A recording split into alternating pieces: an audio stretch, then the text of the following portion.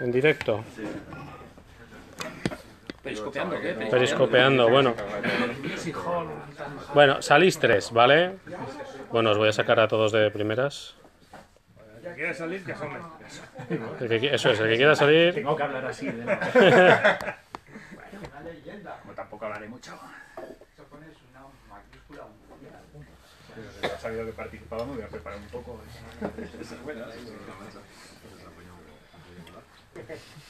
No, y eso, en teoría ahora, es que estoy le- leyendo un libro sobre este tema Somos, somos el sexo débil, de un autor que en Monzón me dio, me intercambió el libro por el, por el cómic mío, hicimos un intercambio y ahora lo he empezado a leer y bueno, trata, creo que sí, que es de Ramón Quintana, ¿Sí? Me parece que sí. No conozco. ¿Y quién es? ¿Quién es el autor? Lo malo es que no me acuerdo. O sea, como me vino el señor, sé que no vas a leer este libro, pero te lo intercambio por tu cómic. Te lo intercambio. Y al final de ahora he empezado a leer.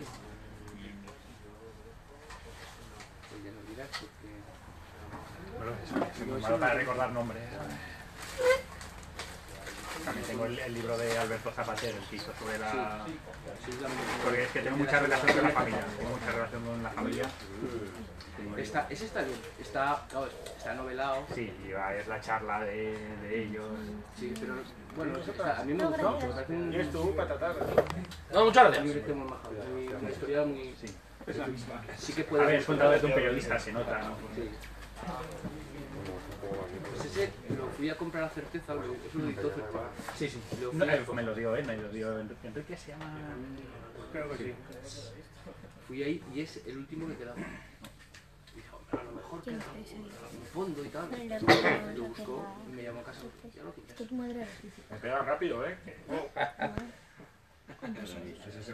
Lo que no se, lo que no se haga rápido, es No, un lío la ya. Lo que dure más de 5 minutos. Y como los, y ya lo vas a ver entonces. No. Como que no, si lo vais a disfrazar. No, no, sabe. No, a ver, la cosa. Que no sabíamos que iba a estar pues, que este es cuando cuando llegó otra cosa. Ahí ves, esto. La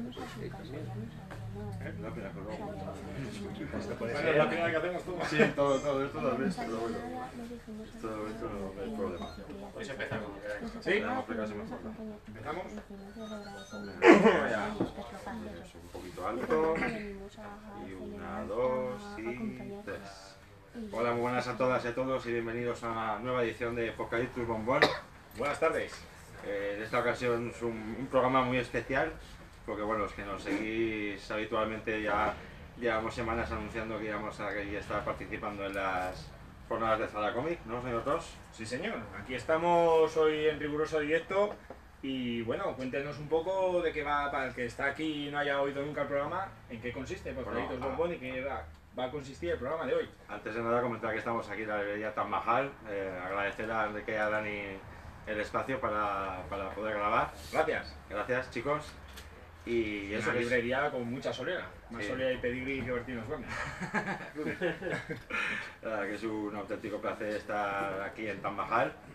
¿Y de qué va el programa de hoy? Bueno, pues eh, como es la semana de cómic aragonés, vamos a centrarnos en cómic hecho aquí, en Aragón. Y primero, bueno, vamos a tener dentro de unos minutos, que es un lujo para nosotros, a Carlos Ezquerra, Sí, eh, nos acabamos de enterar ahora mismo de este regalo. vía Skype, así que creo que está bastante interesante. Y también tenemos por aquí a, bueno, tenemos a Oscar Sanz, también colaborador, Muy buenas, Internet, ¿cómo estamos? el señor Ross, que no te había presentado, Juan, perdona. Pues hola otra vez. Y el subteniente Gutiérrez, el que suscribe estas palabras. Un voz marcial. Y también vamos a hablar de un cómic que está. No sé todavía a la venta, ¿no, chicos? O... No, todavía no. Finales de marzo. Vale. Recién horneado. Sí, vamos a hablar de La bondad y la ira. eh, las últimas horas de Ramón Acín, de Juan Pérez y Dani Viñuales, perdón. Bienvenidos, gracias por estar aquí. Hola, buenas tardes. Gracias. Y la verdad es que es un cómic, nosotros hemos tenido la oportunidad ya de leernoslo, gracias por, por adelantado vosotros, por, por la oportunidad. La verdad es que a mí me ha gustado mucho, señor Tos. Pues a mí igual, la verdad que, que además que tienes el tema, pues eso de, podría decirse memoria histórica, ¿no? Bueno, es una biografía, la- bueno, lo mejor es lo que ha dicho su teniente, son las últimas horas de Ramón Afín, y la verdad que a mí se me ha hecho muy muy entretenido. yo creo que se ve que, que, tiene rigor a la hora de la documentación y sobre todo en la segunda parte se ve que hay muchos datos ahí metidos y se, me ha hecho muy entretenido. Y me ha gustado también las composiciones de páginas de, Daniel y las perspectivas y a mí la verdad que me ha gustado, me ha gustado mucho. Lo he leído casi dos veces porque quería asimilar un poco, yo estaba bastante pez en este tema y, y leí, luego busqué un poco por, por, Wikipedia para asimilar todos los datos que, que vienen. Muy recomendable. Un renacentoide, como solemos decir por aquí por los calitos, porque hacía de todo. Pedagogo, escritor, dibujante, escultor, hacía un, montón de cosas, una adelantada a su tiempo. Desgraciadamente la guerra civil se nos lo llevó por delante, como pasó con muchas mentes precarias de, aquel, de, aquel, de aquellos años. Y eso me ha gustado también mucho del cómic, todos esos años convulsos previos a la guerra civil que, que vivió Ramón Acín y todos sus, sus compañeros de generación, como, como, si dijéramos, y está bastante interesante. Y entonces, chicos, ¿cómo os ocurrió meteros en la historia de Ramón Acín? De la vida de Ramón Acín. Bueno, yo, Daniel. Eh, en un bar. Ah, bueno, está bien, es muy español.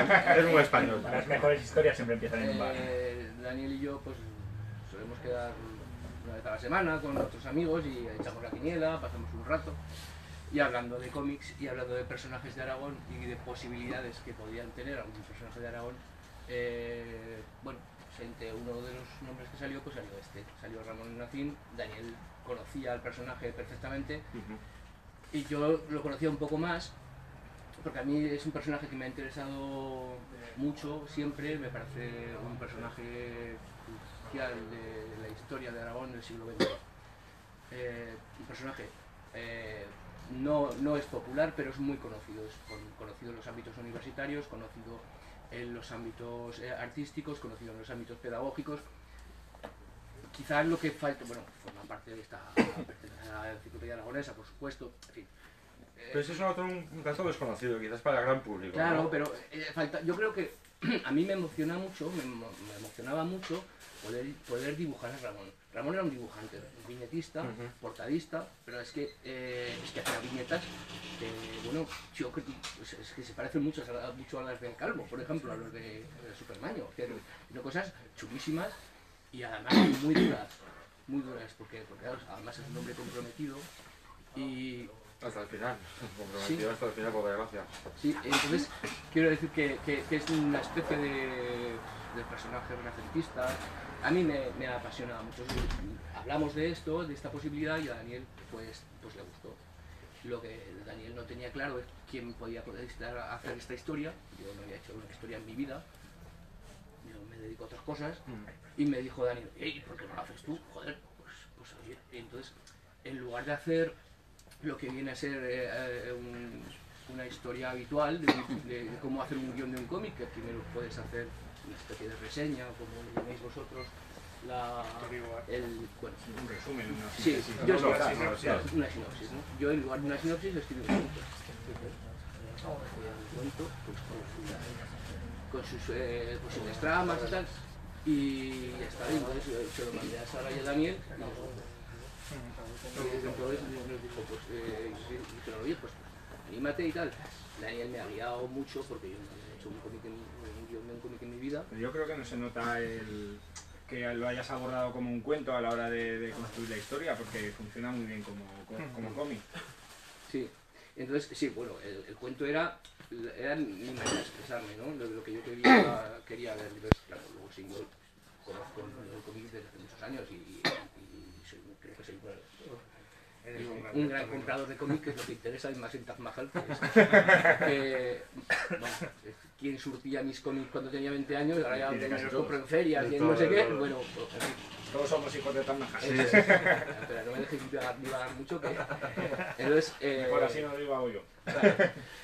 Eh, así fue. Y Daniel me ha ido marcando pautas también, pues el histórico, el histórico lo hizo Daniel, y me ha dicho por aquí, por allí, bueno, y a ver si esto si os ha gustado, pues hemos conseguido el objetivo. Porque a mí lo que me ha llamado también la atención de, de esto es la introducción que hacéis en la que, en la que decís honestamente que, que, bueno, que los diálogos, o sea, os declaráis cuentistas Y, y bueno, pues que se, han sido un poco trastocados en función de la historia, ¿no? No tratáis de vendernos que todos los diálogos han sido así, porque a mí en las, las biografías, sobre todo en la de las películas, en los biopic, siempre me choca eso, que lo que me estén contando me lo estén vendiendo como que ha pasado, ¿no?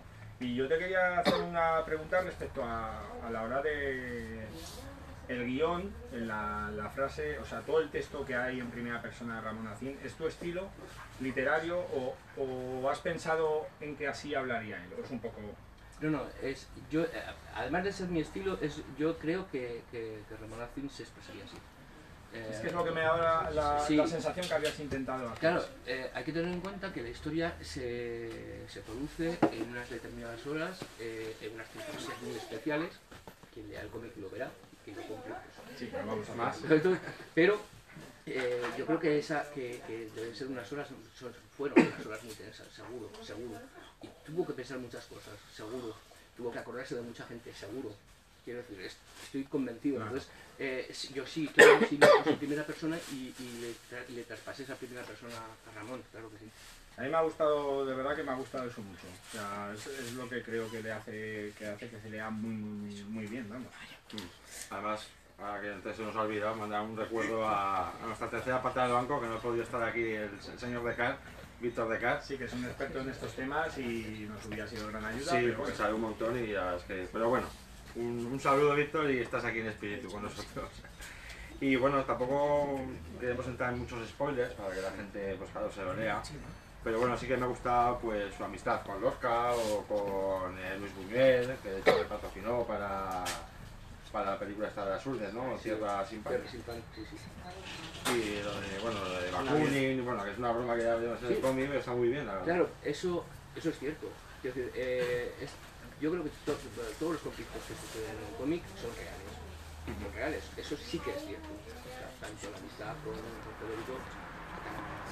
La carta de Mola, ¿no? Todo lo que se nombra. Sí, sí, sí, con- eso también es, verdad, sí, sí, eso sí. El general Sí, Mola sí. eh, le mandó una carta a Fermín. Bueno, hay que decir que parte del cómic es que si no, eh, eh, es, eh, va sobre Ramón Acín, pero hay una parte muy importante que trata de la sublevación de Ramón Acín fue un actor importante en la sublevación de Jaca, muy importante. Tan importante, aparte de ser el enlace en Huesca de los sublevados, bueno, los sublevados formaban parte del Comité Nacional Revolucionario, eh, impulsado por el por los del Pacto de San Sebastián, que fue el gobierno en la sombra de la Segunda República. Ahí estaban Darío Prieto, estaban, bueno, estaban todos.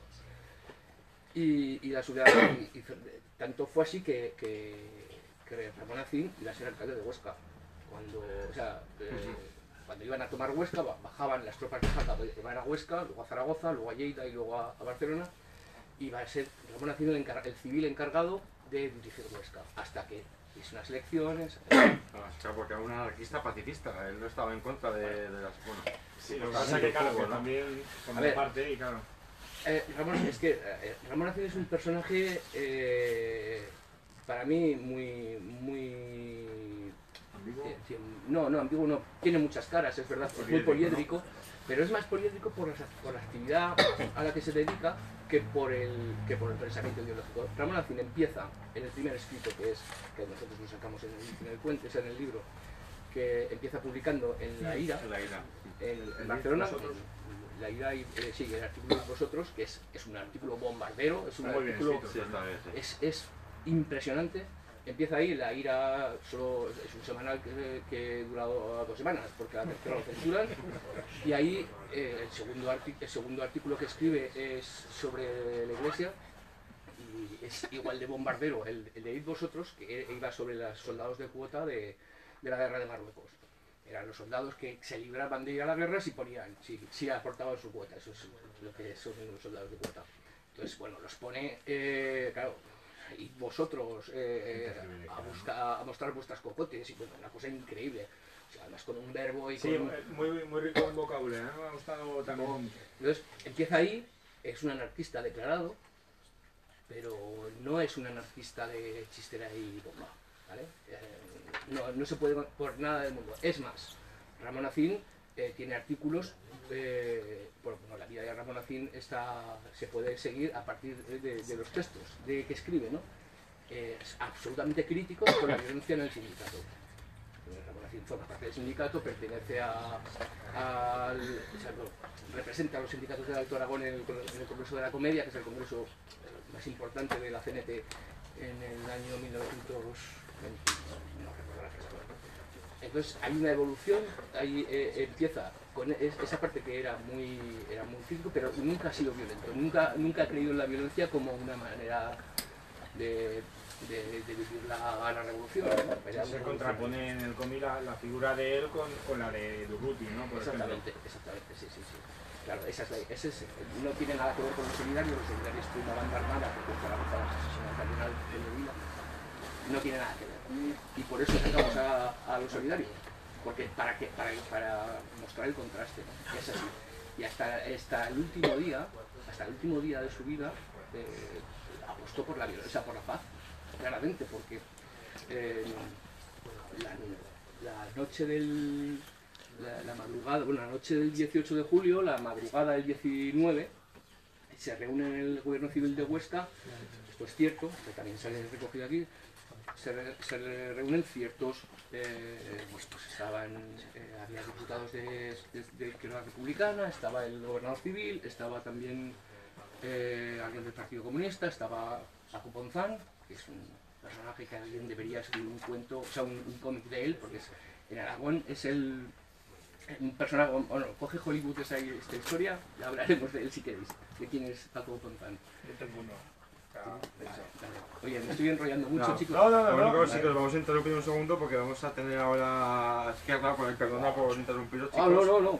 pero vamos a tener ahora vía Skype a, a Carlos Izquierda con nosotros. No, no, no, No, no, no, tranquilo, no, tranquilo, no, no, no, hablar. no te preocupes, No, hablar, hablar lo que con queráis. Dani también. A ver, a ver si lo coge. Esperemos que sí. A ver, Llamando. Manera curiosa de llamar. Minutos musicales. Además tenemos que acabar pronto que el señor Rosso tiene que ir a coger sitio para el concierto de Bertino Osborne mañana. Aquí Sí. porque es un, es un croner. Porque estaba ahí. Además, las, Ah, las colas. hola. A ver. Hombre. Hola Carlos. Hola, buenas ¿Me tardes. escuchas bien? ¿Me escuchas bien, Carlos? Yo trabajando. Nada, lo primero de todo, gracias por estar en nuestros micrófonos, un auténtico lujo para nosotros. Sí. Bueno, en fin, vosotros mismos. Nada, pues a ver, nos quería- queríamos que nos comentaras un poquito cuáles son tus últimos proyectos en que estás trabajando ahora mismo. Pues ahora estoy con mi- mis personajes de siempre, con el... Terminé hace poco con el perro de Estroncio y ahora estoy con el juez una historia también con John Wagner y al mismo tiempo estoy también haciendo una historia de tanques con Garcenis. Bueno, O sea, que veo que colaboras con tus colaboradores de siempre, ¿no? Son con los de siempre. John Wagner y eh, llevamos juntos algo así casi como casi 40 años. Sí, sí.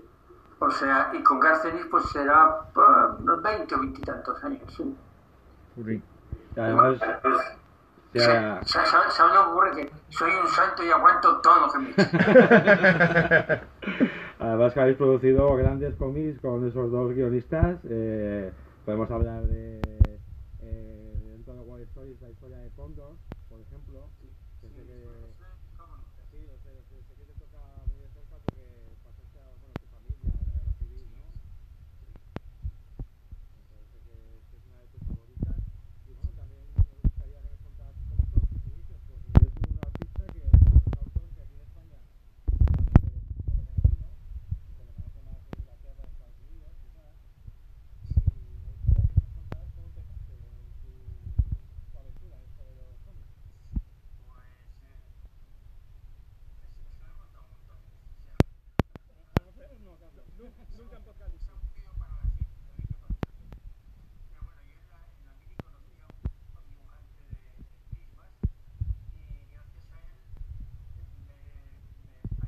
A, a irme a Barcelona, estaba haciendo la mini Zaragoza y me animó a irme a Barcelona para diciendo que en, esos momentos hacían falta dibujantes de cómics. Estaban, había una gran, un gran boom, eran los años, los años 67 o 68, una cosa así, cuando estaba toda la cosa moviéndose bastante, ¿no? Que estaban Víctor Lafuente, Carlos Jiménez, estaban todos. pero vamos, yo una vez terminado la mili, hice las maletas, me fui a Barcelona. El mismo amigo que me, me había animado a ir a Barcelona, cuando me vi ahí se echó las manos a la cabeza, porque entonces la ola ya esta de, eh, del, del cómic había pasado ya bastante. Y yo, ¿qué haces aquí? Los profesionales casi no tenemos trabajo y entonces tú... Pero bueno, yo iba dispuesto a, abrirme camino fuera como fuera y, y, poco a poco lo conseguí, claro. Estuve unos años yendo, empecé, hice unas muestras, me fui a la editorial más alta de Barcelona, eh, pues selecciones ilustradas, Mardon Press, tal, pues, por todos los sitios, todas me, me, fueron diciendo que no, que no, que no, y al final me cogió, y yo creo que una que estaba en el fondo, fondo, me cogió. Y le hice un cómic que era de, del oeste, no sé, fueron 24 páginas o algo así por el estilo, o 30 páginas, y me pagó 2.500 pesetas de aquel entonces. no está mal, no está mal. Pero, pero ya fue, eso era el cómic lápiz, tinta, eh, rotulado. O sea, hacías todo tú. Sí. Pero vamos, ya con eso, eso al menos ya fue un, un paso adelante, ¿no? Fue el, el, el empezar a entrar. Y a partir ya de ahí fui ya yendo a otras editoriales también así pequeñitas, en las cuales, eh, fuera de esas editoriales, en otras un poquitín más grandes, no me querían coger porque mi estilo de dibujo siempre ha sido bastante peculiar. Es muy, muy personal, sí. Pero, sí. entonces, si a eso le añades que en aquel entonces yo todavía no sabía dibujar como ahora, siempre, me encantaba, me lo pasaba muy bien, pero claro, fallaban cosas no solamente se fallaran, sino es que eh, si a mí me estaban pagando, digamos, mil pesetas de entonces o unos 10 euros de ahora para pasar toda una semana, tampoco podía irme como con muchas florituras en el, en el dibujo. Yo he llegado a hacerme hasta eh, un cómic de estos del oeste, de, me parece que eran cuarenta y tantas páginas, pero de estos pequeñitos, ¿no? Tipo de bolsillo. Sí. Eh, en una noche. Jolín, casi nada. Sí, 24 páginas. Eran de dos viñetas cada página y demás, ¿no? Pero todos en una noche. Y sin recortarle las patas a los caballos, ¿no? Exactamente.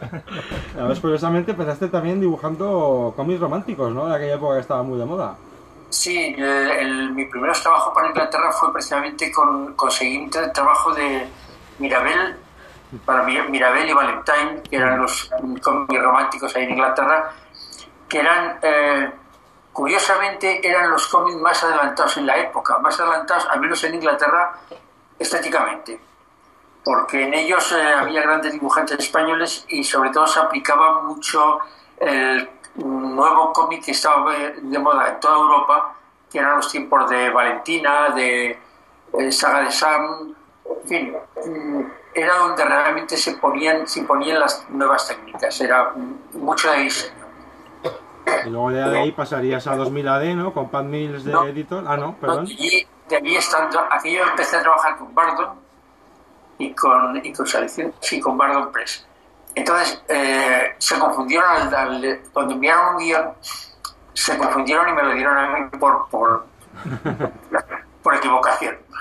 Era un guion para D.C. Thompson de Escocia. Eh, y entonces eran páginas grandes con normas así como 12 viñetas por página, Y, y me lo dieron por casualidad, le hice el primero y les gustó y ya seguí con, con, con, la casa esta. Entonces ya en el segundo número yo dije, bueno, ya que estoy trabajando para Inglaterra, hicimos las maletas, yo me casé, justo al día siguiente de casarme hicimos las maletas y mi mujer y yo nos fuimos a Inglaterra, más que nada por pasar unos meses allí, por decir, bueno, es... Eh, ya que estoy trabajando para Inglaterra, pues eh, conocer aquello, ¿no? Cómo es la gente, cómo...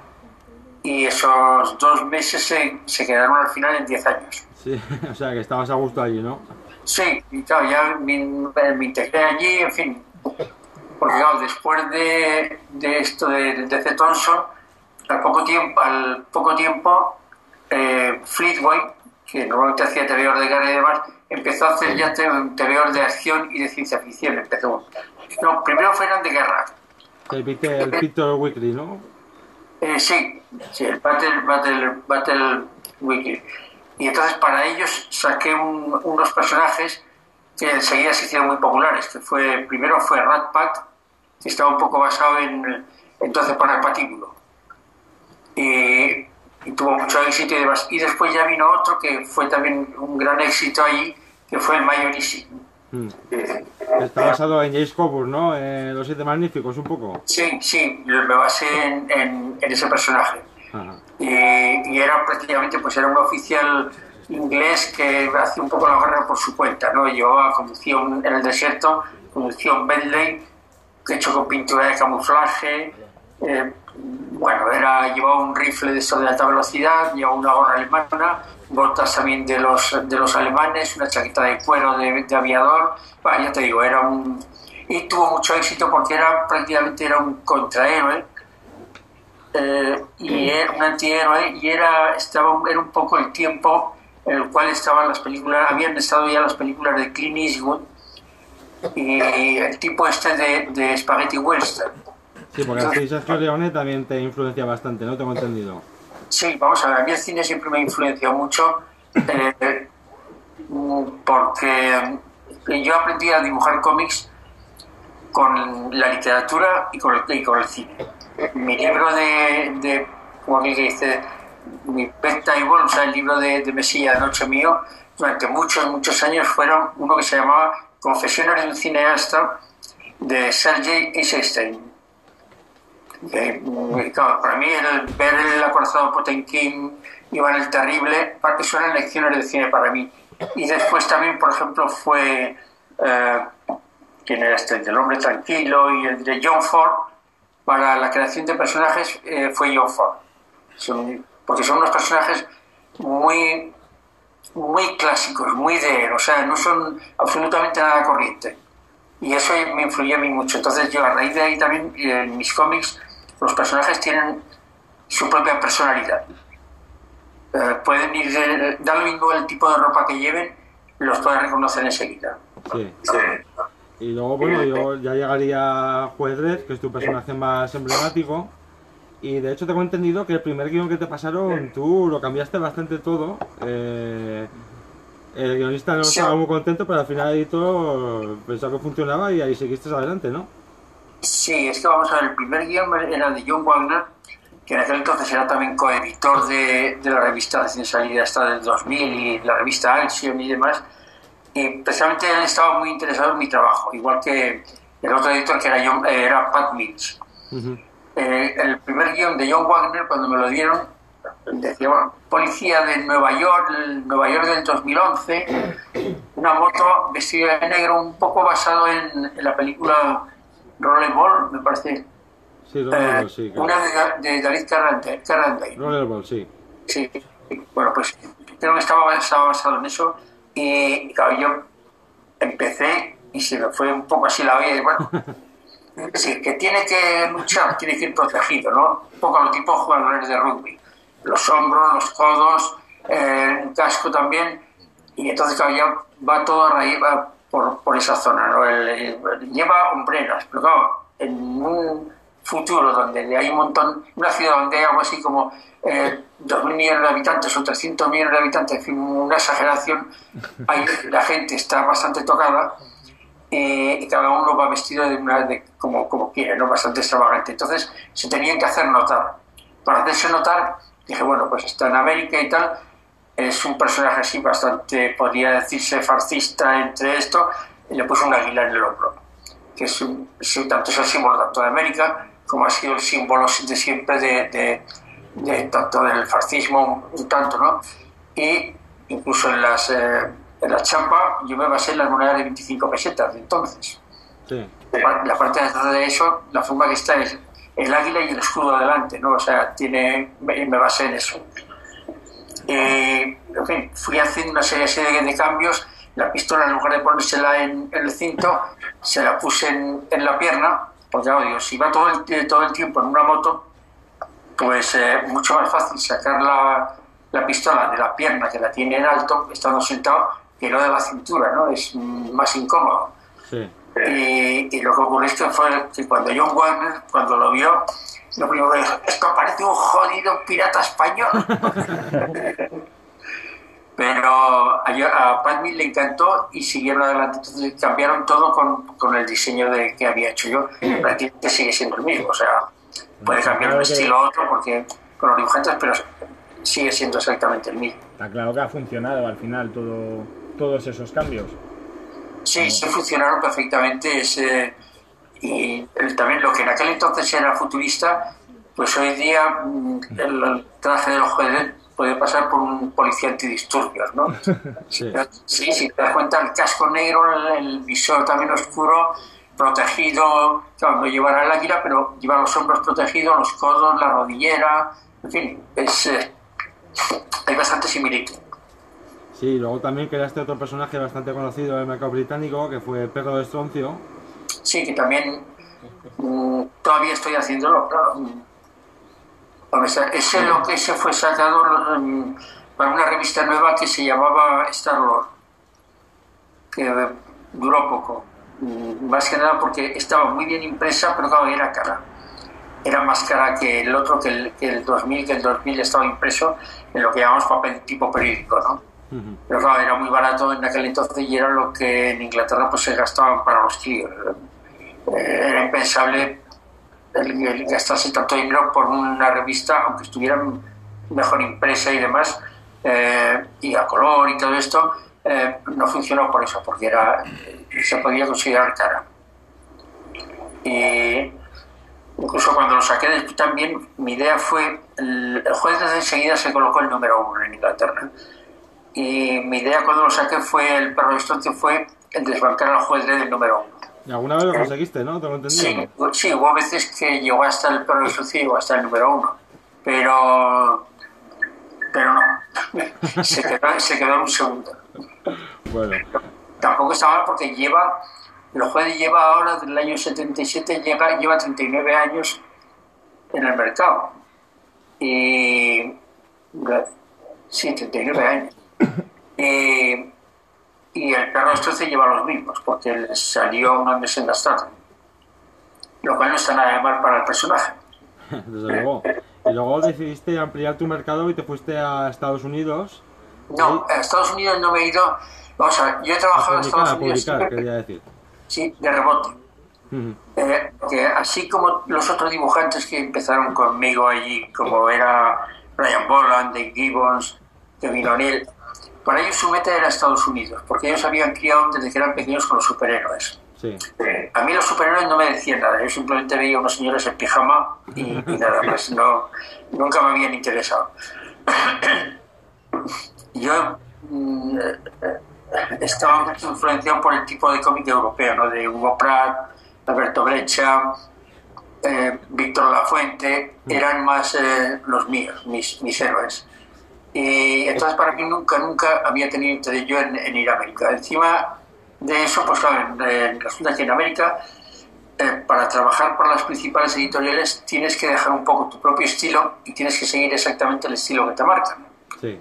La por tú coges un, un, cuaderno de superhéroes hecho por 10 dibujantes diferentes y prácticamente hay muy poca diferencia de uno a otro. O sea, los ojeas, después ya la manera de montar la historia y todo eso ya es diferente, pero, pero y eso a mí no me no he podido yo nunca he tenido un, espíritu más libre, ¿no? Como aquí que dice, de hacer un poco lo que a mí me diera la gana. Siempre y cuando estuviera. No me importaba repetir las cosas si era necesario. Pero eh, no tenía ningún problema con. Eh, quería ser mi trabajo. Por eso, incluso para Inglaterra siempre he hecho lápiz, tinta y color. Para Estados Unidos normalmente he hecho solamente lápiz, tinta y el color pues he tenido que dejar que lo dieran, que lo dieran otra gente. Queríamos hacerte una pregunta, nos ha llegado ahora vía Twitter, que, es ¿qué es lo que tú te pones cuando, cuando dibujas? Por la tele. Ah, tele. Vaya. Normalmente... acaba de, de, hacer llegar Oscar Senal. Si no miro, no miro la tele mientras estoy dibujando, a veces oigo cosas de política o tal lugar, pero vamos, no, no suelo mirar la tele. Ah, también te diré una cosa eh, curiosa. eh, cuando al, el- dibujando el juez y demás eso, muchas veces, ahora ya no tanto, pero en Inglaterra y demás, escuchaba Jotas. Ah, vale, vale. Se había llegado que te ponías Aragón TV, pero lo que, lo que te ponías es Jotas. Bueno, sí, la suelo ver, Aragón TV la suelo ver. Pero, ya te digo, me ponía Jotas, o la guionera, en fin. No se le ha escapado nunca ninguna J al juez Dredd ni al perro de Strontium. eh, no, pero bueno. Un cachirulo, tienes que poner un cachirulo en tu próxima entrega. Yo sí que lo hacía, o sea, que, que, ya te digo, todos los eh, cantantes, sobre todo en esos años, la canción así protesta de, de Zaragoza de los años 70, 80, eh, esa siempre, siempre ha estado, ha estado conmigo. Si miras mi lista de canciones que suelo tener en, en el ordenador que a veces me pongo, muchas veces tengo, tengo una lista bastante grande de jotas. Pues nada, tampoco te queremos robar muchos minutos más, Carlos, si estás muy liado. O si te pillamos liado o no. No, bueno, sí, eh, estoy como siempre. Yo, desde que empecé prácticamente siempre he estado liado. Es que me- quizás también trabajo mejor con un poco de presión más que, más que con tranquilidad, ¿no? Si tengo algo que no corre mucha prisa, lo dejo siempre para el último minuto. Sí. Eso es, eso es una, una manía como otra cualquiera. Y nos comentas que no te gusta mucho dibujar superhéroes, que no, que no te va mucho. De hecho, No, creo, no, personalmente pienso que igual tu estilo no va mucho con él, pero yo creo que a Predicador, yo creo que puedes haber hecho un buen cómic de Predicador con Garenis, ¿eh? Vamos a, no, he hecho alguna historia con el predicador, como dice la del el Santo de O los sea, Asesinos. Punisher, Punisher, perdona, que me he equivocado, Punisher, el castigador No, quería Punisher. decir. No, es que, vamos a ver, el problema con Garcenis, él odia también los superhéroes. Sí, lo sé. Y a veces me daba un, guion, tómalo, y yo le decía, no, que esto no. Me dio alguno de, de, de, The Voice Sí. eh, y también de, de, Kevin, el magnífico Kevin. Y. Entonces ahí salían eh, algunos, algunos superhéroes. Que normalmente yo le decía que no quiero porque son superhéroes, que no, que aquí les damos una paliza, que no sé qué. Digo, joder, tú les das la paliza, pero yo los tengo que dibujar al fin y al cabo. Que era lo que realmente odiaba. Pero ahora he dibujado unos cuantos por ahí, te digo, en estas historias de Kevin. También hice una historia de Batman. Ojo, Con Archie Goodwin, ¿no? Que te, que te retó, a, os retó a Sí. John Barney y a ti. sí, y la hicimos. Y después estuvo en un cajón guardada años y años. Así que ya te puedes imaginar cómo. ¿Y estás más contento en cómo se está editando tu obra en, en los últimos años? Porque, por ejemplo, en los 80, eh, El perro de Strontium y Juez Dredd lo editó una editorial que no era nada conocida, se llamaba MC. Y una que doblaban las, las páginas para que cupieran dentro del tamaño normal y ven todas las caras alargadas. iban acompañadas además eh, en las portadillas interiores de, de ídolos de- del heavy, como Poison, y, y porque he estado revisando hoy esos TVOs y me ha parecido bastante, bastante peculiar.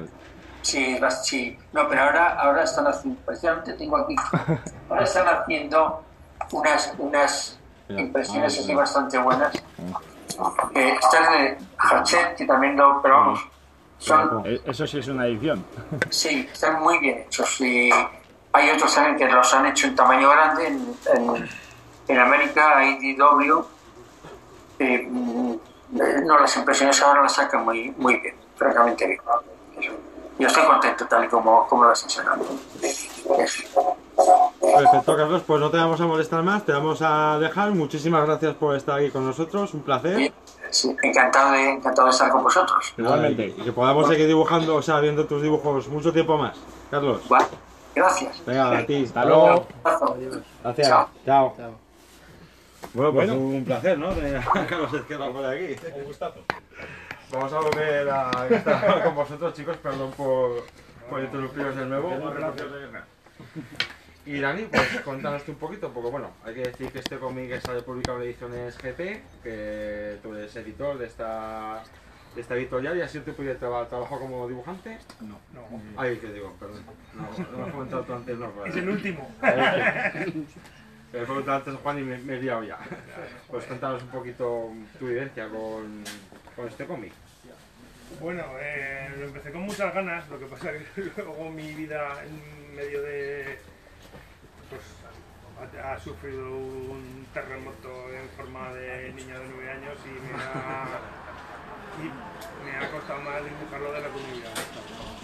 En principio estuvimos barajando con yo la opción de, de, hacerlo en bitono, pero al final por tiempo y porque no queríamos tenerlo ya ya dibujando esto por como dice él cerca de dos años. Pues queríamos, bueno, pues ya lo dejamos lo del, lo del bitono y me, centré en el, en el lápiz, intentando un poco seguir el estilo de mi anterior cómic, el de, Saputo. Sa- el de Saputo. No es tan loco, bueno, no es tan loco, no, este no es nada loco, el Saputo era una visión personal de todo Saputo que bastante, bastante loca, bastante surrealista, bastante erótica y bastante personal. Este ya es un trabajo un poquito más especial. Y aunque al principio intenté darle intenté darle un toque también un poco surrealista vi que no que por ahí no iba a ir el asunto y entonces me centré un poco me centré un poco más en la historia dejé algún toque por ahí de los míos como el de ir poniendo muchas Pajaritas. muchas pajaritas por ahí volando algunas- ¿no? que algunas son muy Sí. potentes y muy bien dibujadas. y, y no sé la verdad es que yo creo que ha quedado bien ¿no? Sí, sí, a mí me ha, me ha gustado mucho. Yo he de, yo he de decir una cosa, uno de los mayores placeres de este cómic es dibujarlo con el Juan. Bueno. O sea, que eso es una de las, de las gozadas de, de- de este trabajo, ¿no? No solamente el estar de cerveza, bueno, y todas las vivencias que tenemos Sí. juntos habitualmente, sino poder tener un hijo juntos, ¿no? Un- algo que hemos, que hemos parido entre los No dos. lo has maldecido por hacerte dibujar personajes de época con traje o No, no, no. No, Yo me he portado bastante bien, ¿no? no, hombre, tus quejas iban más porque había muchos, muchos Sí. personajes. A- La verdad es que, como una vez dijo Carlos Alfaga, el trabajo de guionista está muy bien y es, y es fundamental en, en los cómics.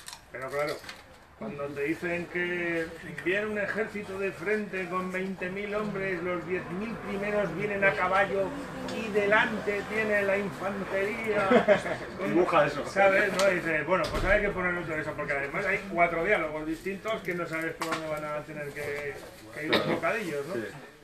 Y claro, pues está muy bien y puede quedar muy bien, pero claro, el trabajo que lleva ese tipo de escenas, pues la verdad es que algunas veces digo, Juan, por favor, esto lo he partido por la mitad, esta hay una en concreto, una página que son dos viñetas alargadas y va a ser una. O sea, claro, digo, no soy capaz de hacer esto. Digo, corto por la mitad, una por un lado y otra por Hombre, hay otro. viñetas, por ejemplo, cuando se conoce Fermín Galán y, y Ramón Acín, que, que es aparentemente sencilla, pero a mí me, me ha gustado, me ha parecido muy potente. Los dos, Hablando, pues con una visión subjetiva, ¿no? Podría ser de- el uno del otro, eh, ofreciéndose la, la mano.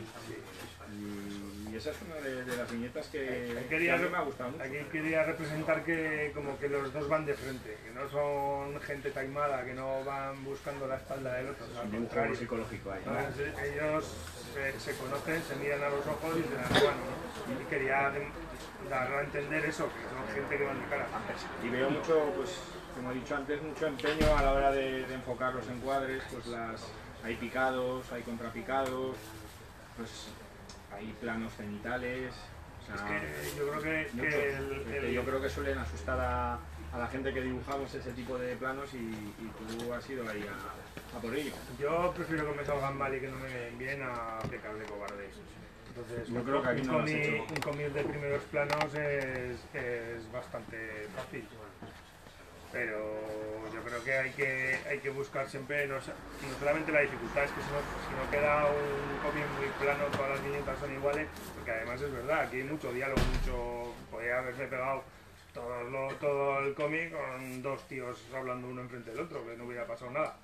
Pero claro, eh, yo también me quiero divertir y yo me busco mis retos, ¿no? Yo tampoco soy un gran dibujante, pero intento buscarme, inspirarme en los mejores y algunas veces inspirarme demasiado, pero intento mm, ponerme, eh, ponerme retos en, cada una de las viñetas o por en las que más, las que más puedo, cuanto más mejor.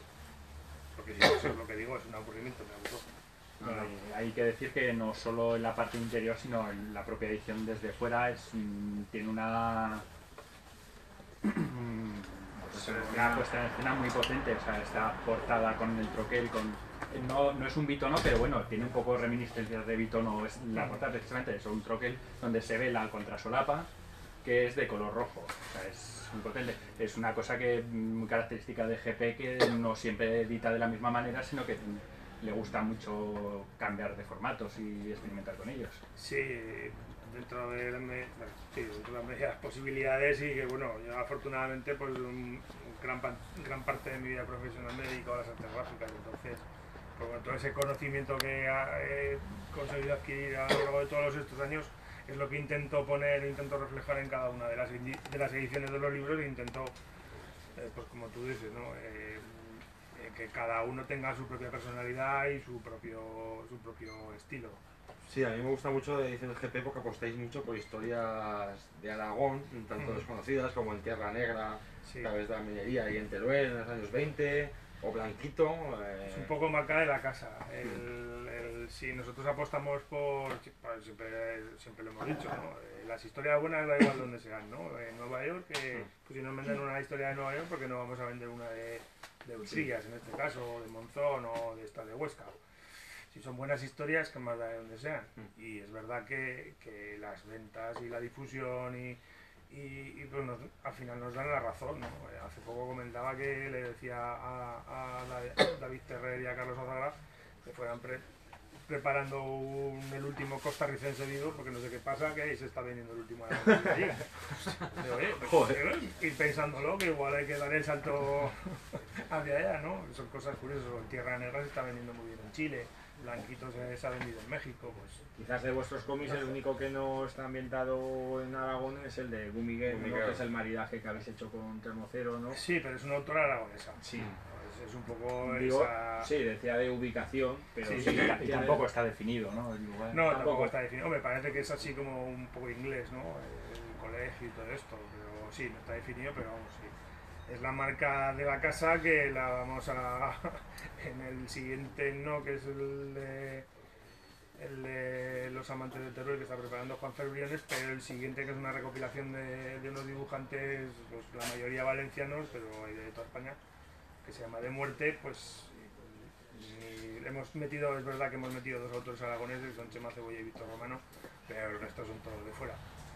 Y un salto un poco hacia adelante a, explorar nuevas islas. Hasta aquí éramos todos aragoneses, a partir de aquí no sé qué pasará. Supongo que sí que seguiremos manteniendo Eso está el, bien. el- el grueso de la edición, seguirá siendo aragonesa. Señor Ross, ¿algo por preguntar? ¿Algo más que se le ocurra? ¿Algo que queréis contar? ¿Algo más Sí. proyectos, No, yo quiero, espera, quiero contar una cosa. Antes no sabía la fecha de, del Congreso de la Comedia, Sí. de la comedia de la CNT, es, fue en 1919. Que Representó a los, a los sindicatos de Alto Aragón. Estaba ahí Cartomín. Eh, Yo sí que quiero hacer un apunte de, en cuanto al, al guion. Porque Cuéntanos. a mí me parece que uno de, las, de los momentos más interesantes de- del cómic y del trabajo de, de Juan, que a lo mejor solo son dos páginas, pero este, esta conversación de, de Ramón con, con, con Fermín Galán, que son dos anarquistas, uno beligerante, el otro más de la palabra que dice siempre Juan, Parece que cabecea Juan. Sí, bueno, por lo del anarquista de, de Fermín Galán. es que Fermín Galán Sí, más bien era un echado para adelante. era un echado para adelante, sí. Sí. Era un tipo con buenas intenciones, pero un poco... Bueno, un poco, un poco salvaje, ¿no? Pues eso, el contrapunto entre los, do- las dos formas de, de entender la sublevación de Jaca, creo que está muy bien resumida en estas dos páginas. Es, todo ha salido de. Porque hay muchas, es verdad que hay muchas referencias, pero esto, esto ha- todo ha salido de, de cómo Juan lo ha, lo ha entendido que podría haber sido. Que tampoco está muy claro ese encuentro, ¿no? No. Ahí- Esa, esa parte concretamente es ficción. Eh, sí que se sabe que, que Fermín Galán eh, y Ramón Acín se encontraron en, en Alzánigo, eh, encontró la columna allí, cuando bajaba a Hierve, no se sabe que estuvieron juntos. O sea, no, eso lo, lo he aportado yo porque creo, me parecía muy importante eh, eh, contar cómo eran los dos personajes y contrastarlos. Los dos tenían una, raíz inicial, que era una raíz revolucionaria, y Fermín Galán eh, no era exactamente un pacifista, era un militar, veterano de la guerra, había estado, había servido en la policía indígena en, en Marruecos, había sido herido en la guerra, quiero decir, era un militar y el Ramón Acín era un pacifista, un naturista, ecologista, o sea, bueno, en fin, era, es, muy, es, es difícil de entender esa, esa buena relación. Para mí es muy, no, entiendo. Entonces, eh, juntarlos así me parecía, mm, eh, aquello, aquello no pintaba nada bien, o sea, no- pero nada bien. Ramón Acín tiene que salir de Huesca porque ya lo está buscando eh, la policía de Huesca. Los militares, lo hay una gran tradición, hay una gran tradición de los militares aragoneses que contra, contra los sublevados de Jaca. Estaban, estaban eh, compro- en el complot, estaban todos, todos. No estaban los, el, el capitán general de Aragón, no estaba, pero sí que estaba, eh, supuestamente, esto es lo que dicen los historiadores, que sí que estaba el general que sube a, a detener la columna. Y que, que lo vienen, que sale el tipo con, con dos pistolas y empieza a disparar porque él manda aquí que por sus cojones se tiene que parar. Pues sale, sube con una pequeña escolta, quiero decir, una, una locura. una- o sea, cinco guardias civiles y un, y un general van a parar a toda una brigada que baja desde Jaca a hacer la revolución. Es, es imposible. El tipo, el tipo estaba en el ajo. Estaba en el ajo. Es traición, claramente. ¿Por qué? Pues no lo sé. Entonces, eh, quiero decir, esa historia yo la quería contar y la cuento en, en esa conversación. Me parece fundamental. Me pare- eso era, y claro, esto es una historia inventada. No, es- esta parte no se sabe si existió. A mí, bueno, me Me da... hubiera gustado que no- sí, ¿no? Sí, incluso creo que pudo pasar. ¿no? Me parece muy chulo. Y luego quiero decir que Ramón Acín es un personaje singular, único y, y que la verdad es que merece la pena. O sea, y hay, hay mucho, mucho fondo documental en internet, está la, la página de la Fundación Ramón y Katia Acín, que yo recomiendo que la veáis que, y que, que ya veréis que es, que es un personaje fascinante. La Fundación Katia Zin, que es la hija Es la- de sí, una era de las la- hijas de, Sí, de era una de- tenía Sol y, Sol y- Katia, las dos fallecieron. Y es, que, bueno, para mí es un personaje fundamental de, de- de Aragón del siglo XX, ya lo digo, por eso Hombre, que lo vives. eh. lo vivo, lo, lo amo. Se nota, Sí, se sí. nota. De aquí también dar las gracias otra vez a, a Víctor, señor de K, que nos ha dejado un tomaco con todos los, los escritos de, de Ramón Acín, que es bastante recomendable para el que se lo quiera leer, que está... O, o quiere hacer pesas. Sí, o quiere hacer pesas también. Así que nada, chicos, próximos proyectos, bueno, tú lo has comentado ya, eh, Juan. Yo no, ¿Te no lo sé. animas a hacer otro cómic? Sí, yo, a ver, yo me animaría a hacer otro cómic si, si lo hiciera con Daniel. Daniel es imposible que haga otro cómic. este- eh, Daniel también es un hombre del renacimiento. Daniel se dedica a hacer mil, cosas, claro.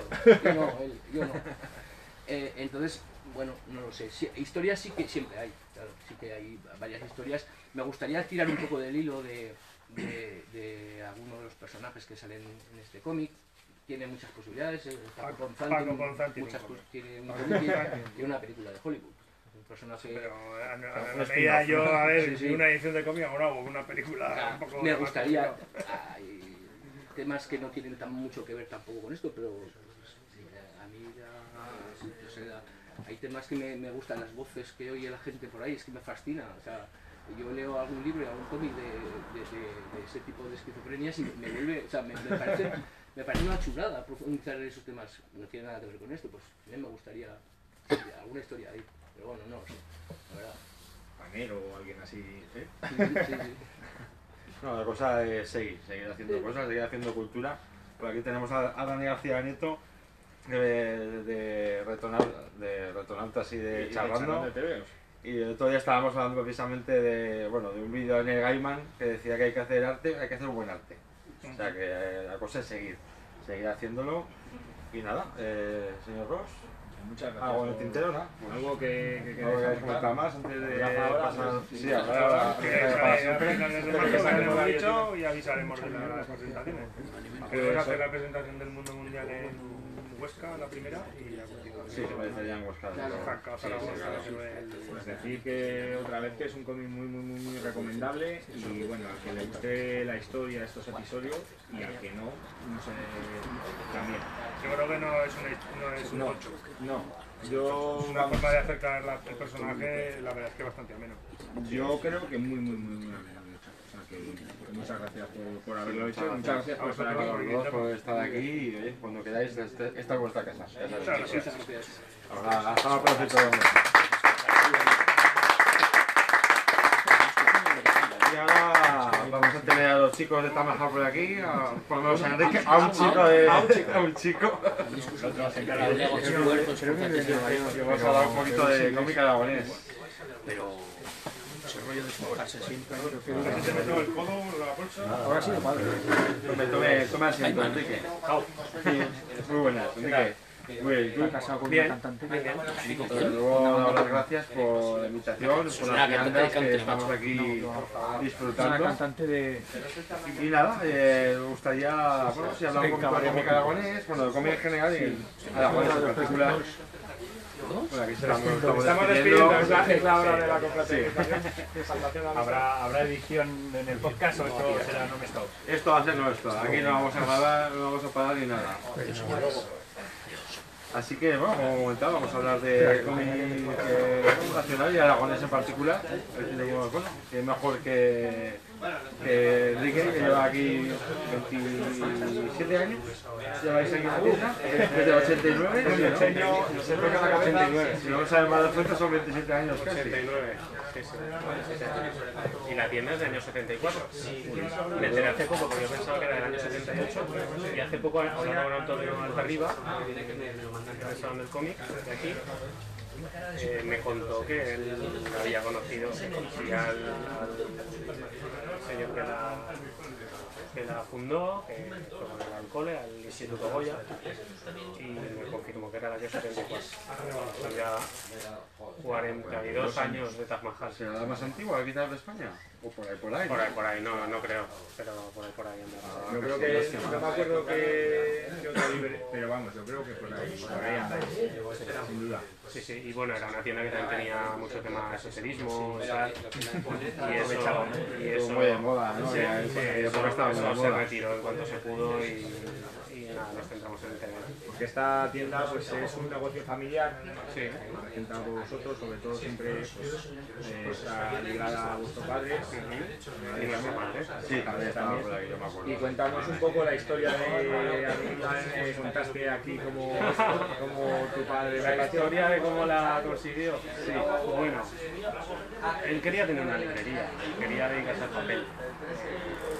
Lo amaba. Para una fábrica, estaba muy bien colocado. Y. Le pudo Pero bueno, sí, sí, sí, en cuanto pudo. Se fue de allí y, y buscando, buscando dio con esto. Y, y una vez que hizo, que aceptó la, lo que le pedía el, el, que la traspasaba, este otro se arrepintió y le pidió el doble. Y mi padre dijo que le daba igual, él quería dedicarse a esto y pagó lo que, lo que le pidió. Yo de esto me enteré con los años a través del chico que estaba de, en, en antes de que estuviéramos nosotros. No era propietario, sino que estaba dependiente. Sí, claro, yo, total. porque Sí. yo, bueno, es que, bueno, yo he vivido aquí muchísimos años a la vuelta de la esquina, la verdad que yo cuando tenía 12 años venía por aquí y, bueno, conocí a tu madre, a tu padre, a tu madre, a vosotros supongo que os veía alguna vez, pero bueno, no, Sí, pero menos, claro. igual un poco menos. yo empecé con 12 años, pues venía por aquí los sábados por la tarde, y una vueltica y tal. Pero ya hasta más mayores ya no. No me acuerdo sobre todo de bajar los sábados por, por la mañana. ¿También salían los comisarios entonces? Porque me parece curioso porque yo En me aquella acuerdo- época los TVOs salían más escalonados. Más escalonados. Cada día de la semana podía haber novedades. Sí que tenías avalancha cuando había un salón del Cómic de Barcelona, por ejemplo, pero realmente tú tenías, podías tener novedades de, de Marvel, de Forum en aquella época, pues en cinco días de la semana que cada día hubiera dos TVOs, o tres. Sí, sí. Yo es que me acuerdo de bajar los sábados a, a mí, una época que estaba yo un poco loco y hacía deporte y esas cosas. Mal- menos mal que luego lo dejé. El deporte también se Te sale. curaste, te curaste. Sí, sí, a jugar a la frontenis, no me preguntes por qué, pero me a jugar a la frontenis, a balonmano. Y me acuerdo de, de pillar los sábados aquí en Comis y al colegio a jugar y luego hasta ahí sentado leyendo es uno de los recuerdos más, más bonitos de mi infancia, la verdad. Ujú. Yo recuerdo que tengo de esta tienda, pues bueno, que ya ha sido extensible a otras tiendas, pero yo recuerdo cuando venía aquí, pues el, el- los típicos eh, compartimentos en los que se guardaba el TVOs a compradores. Sí, eso sí. Compañeros eso- decía, tenía su sección ahí en las Sí, sí. estanterías, sí, sí, aquí tienes lo guardado. Sí, eso, sí, eso sí. no existe. Ahí me lo guardaba Pepe. Aún lo hacemos. Aún lo hacemos gente que tarda mucho en venir o gente que no se quiere arriesgar a quedarse sin su colección. Pues eso lo guardas. Es que yo lo, lo encuentro muy asociado a esta tienda, digo que supongo que habrá sido extensible luego a otras, pero yo claro, Sí, es que la lo hace primera tienda que lo he visto y, y, y quizás la única. Sé, sé que habrá en otras, pero lo, lo tengo muy Sí, asociado. sí, aquí. nosotros yo tengo asumido que cada viernes, que es cuando llega toda la Navidad, se normalmente en viernes, me voy a pegar la paliza de la ri- riñonada de para arriba, para abajo, coger esta tal, coger esta tal, coger esta tal. Y son días pues que se pasan un poco peor, claro. Sí, de, de hecho hemos llegado hoy en, en de combate, ¿no? Había Sí, sí, te- de bueno, naufragio por sí, aquí, sí, sí, está todo manga con hombro, pero bueno. O sea, me acuerdo que justo donde estamos situados ahora mismo aquí sentados estaba la zona de cómic americano, de Comic USA, que yo me acuerdo que estaba justo detrás del costado que ponía tu padre y tu madre. Eso, es- eso era en la tienda antigua. Sí, antes de que la En la reformara. tienda antigua. Sí, eso es. sí, sí. Primero el mostrador lo teníamos al fondo de la tienda. Eso es. Hasta que mi padre se dio cuenta de que si le robaban era muy fácil salir corriendo. Mientras que si tenía el, escapa el mostrador en la puerta era más difícil que Mucho más fuera. difícil, claro. Entonces ya se trasladó, pero sí, al fondo es donde teníamos las cosas en, en inglés, que en aquella época era, no era como ahora. Ahora, por ejemplo, tenemos una sección con, con más de mil tomos en inglés, con muchos con packs en grapa, con grapas sueltas, tenemos muchísima materia en inglés por defecto y además trabajamos con el previews habitualmente, entonces pues cada uno se pide lo que le interesa en el plazo correspondiente y ya está, no hay ningún problema. Pero en aquella época era, mi padre un poco se miraba el previews y un poco pedía lo que a él le parecía que podía tener venta, lo que le parecía interesante. El día que la gente sabía que llegaba americano, eso era como los, mera- los merodeadores que eran, hay quien es el primero que accede a la novedad para poder ser el primero que se coja y no quedarse sin, sin las cosas interesantes que había. Claro, y además en aquella época que igual llevábamos de retraso 10 Sí, meses, sí, sí, llevábamos no la y la super de la patrulla X, claro, veías las portadas y este quién es, y qué pasaba ahora. Y claro, te quedabas, te quedabas un poco, un poco flipado. Claro. Vosotros además habéis comentado también el tener a dibujantes aquí firmando, ¿no? Tenéis... Sí, siempre, siempre, por ejemplo, con Luis Rollo. siempre lo hemos hecho, sí, con Luis, con Luis mucho. Sí, la verdad es que Luis es un amor y siempre que le pides algo, si está en su mano, pues adelante. Es decir, que estamos también aquí, tenemos un montón de originales colgados del techo de Jesús Sí. Saez, Sí. otro dibujantazo que tenemos aquí en, en Zaragoza. Sí, sí, es un, la es lujo tener a Jesús cruzando el Simpli que tenemos enfrente, entras por una puerta, sales por la otra y ahí lo Jesús. Y claro, es un lujo tenerlo tan cerca y claro, pues te aprovechas un poco. Es, un tío estupendo, entonces le dices, oye Jesús, 20 originales para hacer una exposición. Y nos acercas una caja de leche del sitio. De paso, ya que vienes, ya que vienes. Sí, sí. Pues sí, la verdad es que tenemos ahora mismo 20 originales de su etapa en DC, eh, un poquito de todo. eh, parecen especialmente chulas las páginas que tiene la cosa del pantano. Eh, un poco ecléctico también porque él no sabía, me dice, si me preguntas a qué corresponde cada cosa, ni te lo sé decir, porque son cosas antiguas y, y claro, él tiene tal cantidad, tal volumen de producción que con el tiempo pues se consolidando. Y bueno, la pena es que esto es una cosa que queda un poco en extinción, porque ahora Jesús hace algún tiempo trabaja con tableta gráfica, con lo cual el original pues es algo que se pierde. Él gana en velocidad porque, porque claro, por ejemplo, una mano que te quede desproporcionada, eh, antes había que borrar y repetir, ahora la escalas y ya está arreglado, no hay ningún problema. Entonces se gana en velocidad.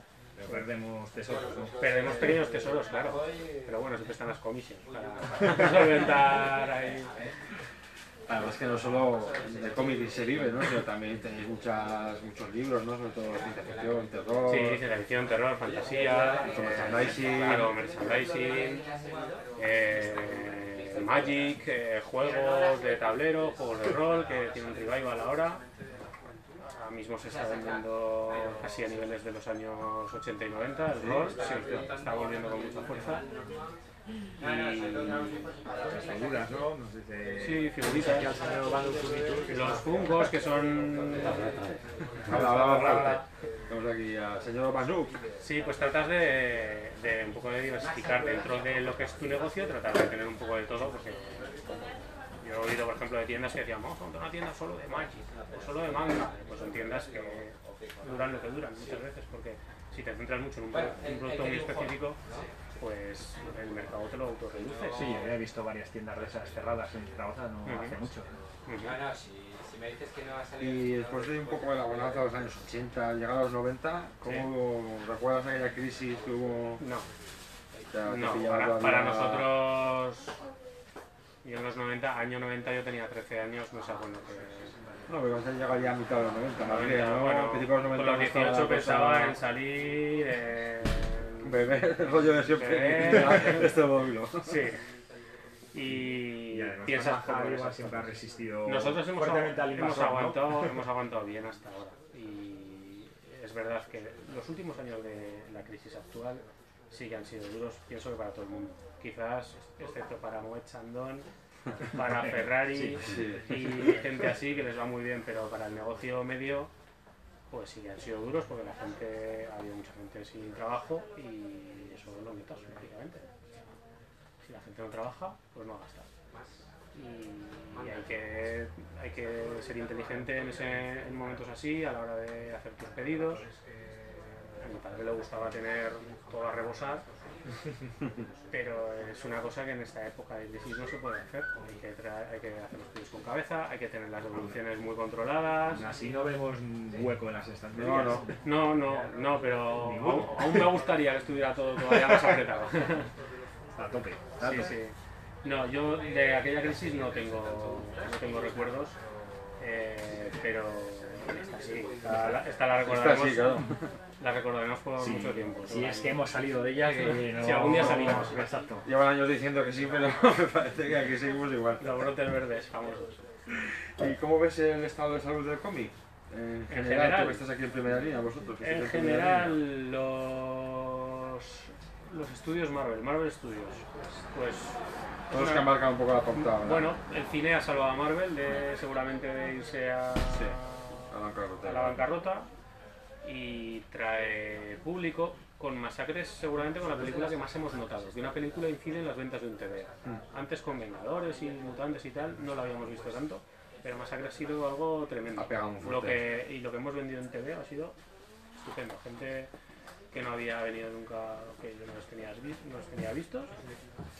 De repente te los encuentras en la tienda y ves que vienen, se compran uno, les gusta, vienen a la semana siguiente, se compran otro. Ha estado muy bien. El, el- ahora mismo el TV español en general lo veo con buena salud, pienso. Tenemos gente tremenda. Paco Roca, Rubín. David Rubín, eh, Miguel Ancho, Max, mm, podría decir 50 y me estaría dejando gente súper importante. Mucha, mucha gente además que de Sí, sí, sí. Y bueno, y a nivel aragonés, pues, ¿qué puedo decir? Eh, yo creo que es nuestro mejor momento. Eh, tenemos ahora mismo dos nominados en el Salón del Cómic de Barcelona, Mejor Obra, que como son Sagar y Álvaro, Álvaro, Álvaro que eh, Ortiz, que encadena tres nominaciones consecutivas, que ha estado nominado en Angulema a principios de año, a Mejor Obra, que está ya publicando con regularidad en Francia, todo lo que salga aquí directamente se publica Rackham en francés. Y, y que está de tour, lleva tres meses prácticamente viajando por toda España porque lo llaman, o sea, de todos lados. Sí, a ver, yo a Álvaro Ortiz le veía- veo ganando concursos desde que estaba en la Escuela de Artes, que coincidí con él, y desde entonces está ganando concursos. No creo que haya pasado un mes sin ganar algo. Pues sí. Y, bueno, quitando lo más visible, que son ahora mismo estos dos autores que son los que tenemos nominados a, Mejor Obra en Barcelona, pues te vas a, un colectivo Mala Vida y todo lo que sacan vende bien. Eh, sea del, del que sea. Te vas a una GP Ediciones y lo que están sacando está funcionando. Eh, la verdad es que los fanzines mismos están... Termocero ha sido No, ganador. no, pero los fanzines está- Sí, está, sí, los Aquí tenemos fanzines- los diletantes y aquí los- fanzines de, de grapa. El otro día me vino Adrián Vázquez, el, el, el de y cigarrillos, y Está yo me emociono cada vez que TVO. sí, está publicando con TVO, y cada vez que me trae su fanzine chungo con cuartillas y grapas, digo, pero qué gozada es esto, macho. Sí, sí, está muy bien. Y otra cosa que te quería preguntar, eh, Esto de la inclusión de los cómics en grandes superficies desde hace unos años, estas novelas gráficas para ellos, que siempre todo novela gráfica, ventajas, desventajas para, para vosotros las tiendas pequeñas. Cualquier competencia que tengas cuenta, hasta el más pequeño que venga que venda un TV, obviamente a mí me perjudica. Claro, claro. Pero por otro lado, eh, es algo que lleva el TV al público. No sé hasta qué punto puede ser interesante para una persona casual que pase, que quiera comprarse unas zapatillas, una camisa en Carrefour y encuentre TVOs. Eh, no sé si realmente venderán mucho. Por lo que ves en el corte inglés, ves que su zona de, de cómic es un poco como el Guadiana, a lo mejor ponen a un nuevo Sí, responsable. va cambiando cada mes, va cambiando de plan. Ponen un responsable que tiene interés y a lo mejor lo potencia, pero se dan cuenta que venden muy poco y a los dos meses lo vuelven a, a bajar. Al final pienso que el cómic donde se vende bien es en la tienda de cómics, que es donde viene la gente de propio. Aquí no entra, salvo alguna, algún despistado que quiere que le cargue la tarjeta del- autobús. un clásico. Lo hice que el otro día había uno de Salvo aquí el que entra es porque viene a lo que viene. ¿No habéis puesto esa, esa típica reseña o, o cartel de aquí no se recarga la tarjeta? No. ¿Preferís decirlo amablemente? No, sí, no. Hay otras tiendas que, que lo he visto. Que, que entre, ¿no? Que a lo mejor que hay algo. Sí, claro, claro. Fernando la catalana. Además, No, perdón, no, no, no lo había interrumpido hoy durante este podcast. no ¿Cómo dónde se me ha sido. interrumpe el croner este? Pues yo, claro, además es que Zaragoza es una, una ciudad que, que, a ver, es una ciudad pequeña, pero, pero a mí siempre me ha sorprendido que en los últimos años hay un montón de, de tiendas de, de, de cómics, ¿no? Porque, porque bueno, hay unas cuantas, ¿no? Que aun gustándome a mí los cómics, siempre digo, Oli, digo, ya que haya solo una tienda que viva de esto, ya todas las que hay siempre me parece un, un hecho curioso, ¿sabes? Un meritazo, sí. Un logro, ¿no? Y luego, pues claro, que vosotros sois, pues que, que estéis aquí, lo que he dicho antes, resistiendo al invasor, que, bueno, pues referentes y las Claro. tiendas. Claro. A ver, este mundillo, hay un dicho entre libreros que es que el 90% de las librerías las han montado ex empleados del otro 10% restante de librería. Entonces, obviamente, este es un mundillo de gente muy apasionada y gente que está deseando de vivir algo como esto. Y no saben dónde se meten. Porque a él vienen, oh, qué guay, trabajo en una tienda de cómics. ¿Estarás todo el día leyendo cómics? Pues no. Precisamente lo que menos hago es leer cómics. Como libreros, además que yo creo que todos los que conozco soléis tener, los cómics. Sí, Y, y en tu caso, claro, ya no sé qué fue antes, el huevo la gallina, porque claro, tú ya en, en tu casa, claro, ya tú Claro. te criaste con esto, Claro, a mí ya un poco da... A mí me inculcaron la lectura muchísimo desde pequeño y antes de tener Taj Mahal, pues a mí mi padre me llevaba todos los fines de semana o a las tiendas de cambio que dabas 5 céntimos y un TV y te llevabas otro, o a la papelería de la esquina a comprarte el mortadelo, el zipizape, con lo que yo crecí. Y bueno, me han encantado desde siempre. Luego ya, cuando entramos aquí, pues para mí fue el niño más afortunado del mundo. Te envidia mucha gente. Madre, madre mía. Y recuerdo que lo primero que me llevé de esta tienda, de la antigua, fue el número uno de la edición de, de Flash Gordon, de Alex Raymond, la edición que sacó Ediciones B, eh, que eran apaisados. Y ahí entré yo en el TV adulto. Y a ti como lector, ¿qué, qué es lo que te gusta? Justo, sí. Lo que me gusta es difícil. Lo que más, lo que- ahora mismo lo que más me gusta es The Walking Dead. Siguen el, ahí en buen nivel, ¿no? Poniendo por- 150 Realmente no le veo bajar el nivel a Kirkman. Mm, Cuando parece que no hay más ideas, de repente ¿sabes? que da un giro y dices, anda. Y en en mi, en mi lista de. o en, Top, en mi cola top. de espera, no, en mi Ah, cola, en mi cola de espera. siempre eh, puedo tener 20 cosas y lo primero que va, el Walking Dead cuando sale. Eh, me gusta el manga, por ejemplo. Soy bastante fan de Taniguchi. Me gusta mucho Taniguchi. Alguna cosa suelta, Bakuman, me gustó mucho. Además, la recomiendo mucho al que le interese el mundo editorial porque te cuenta el mundo editorial japonés, cómo funciona, que es una pasada. Eh, y Death Note, de los mismos autores que Bakuman, me, me. Eh, de TV americano lo sigo un poco menos porque no sé seguir series, me, me despisto con facilidad. Prefiero esperar algún tomo especial, en concreto la colección Marvel Deluxe me gusta mucho porque me permite tener algunos argumentales completos y cuando necesitas alguna cosa pues ya te el arco argumental, te lo lees y además yo soy muy de perder las grapas, las grapas en mi casa desaparecen, no logro que se las comen, entonces mejor tenerlo en tomo porque, porque así me aseguro de que está bien visible, no se me descuadra la, la serie. Y bueno, de europeo me gusta, no sé, Isabelae, de Raúl E. Gabor, por ejemplo, Yasmainat de Raúl E. también, que es un guionista que me gusta mucho. Eh, casi cualquier cosa que salga de Marini, en general. Eh, no sé, un poco de todo, soy muy de picotear un poco. Sí, que es muy. Te Sí, va un sí, sí, poquito- sí, un no me, no me, no me cierro a nada.